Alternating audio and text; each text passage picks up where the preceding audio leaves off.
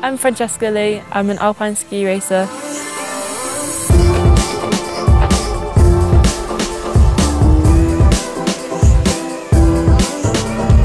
The thing I really like about ski racing is just going fast and feeling the speed.